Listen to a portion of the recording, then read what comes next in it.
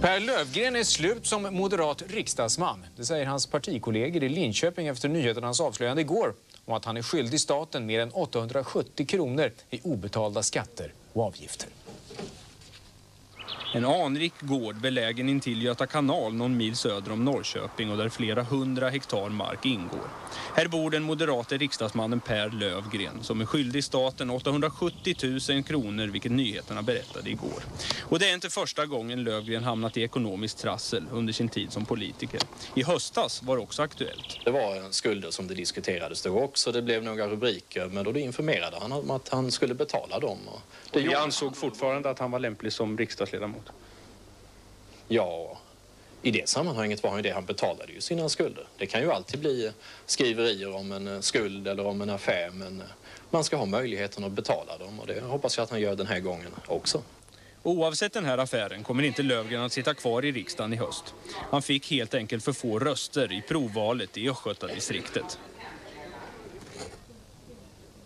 Socialdemokraterna säger nej till det nya a-kassesystem som regeringen har föreslagit. Partiet vill istället att a-kassan slås samman med KAS, det kontanta arbetsmarknadsstödet. Och återigen ska den arbetslöse få 90 procent i ersättning fast först då det finns ekonomiska förutsättningar, som det heter i Socialdemokraternas förslag.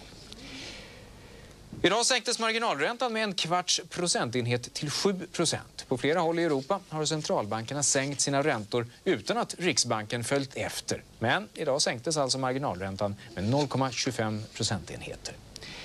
En tjänsteman vid fängelset i Växjö misstänks för förskingring. Han har polisanmälts för att ha försnillat minst 15 000 av fängelsets pengar och har stängts av från sitt jobb.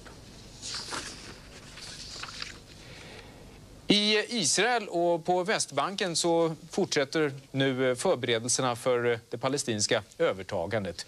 Eh, samtidigt så kommer uppgifter om att fyra barn har skadats vid sammandrabbningar på Västbanken idag. Och man brottas samtidigt med de praktiska problemen inför övergången till självstyret. Förväntansfulla väntade i morse ännu några hundra palestinier på att återförenas med sina släktingar utanför centralfängelset i Gaza. Men nu snarare än pompa och pussar väntar praktiska problem för PLO, en organisation som verkat i exil i tre decennier. At this stage of the game, the, the most urgent need is for cash. Utan erfarenhet av vare sig sophämtning eller praktisk demokrati blir nu PLO ansvarig bland annat för bostadsbyggande, hälsovård och skolgång. Till detta lovade idag den japanska utrikesministern på besök i Jerusalem 200 miljoner dollar. För att PLO ska få längre tid att förbereda sig bad Yasser Arafat idag Israelen att stanna ytterligare en månad i Gaza och Jeriko. Fast Israel som packat och förberett tillbakadragandet även innan underskriften igår ville dra sig tillbaka inom tio dagar. Mike Tyson tänker börja boxas igen så fort han är ute ur fängelset. I maj nästa år kommer han att ha avtjänat sitt straff för våldtäkt. Let me explain something too that you may not even know about me.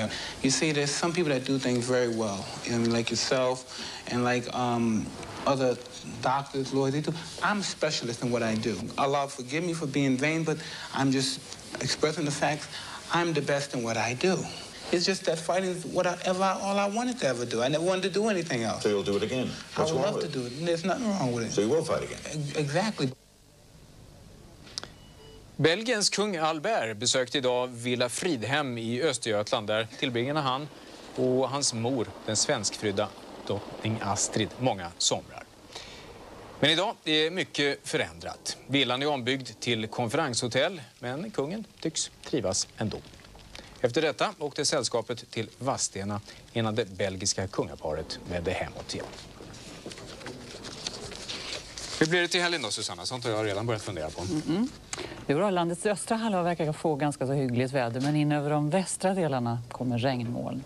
Men morgondagen bjuder i alla fall på vackert väder i hela landet och vid västkusten så kan det kanske komma in en del tunna moln.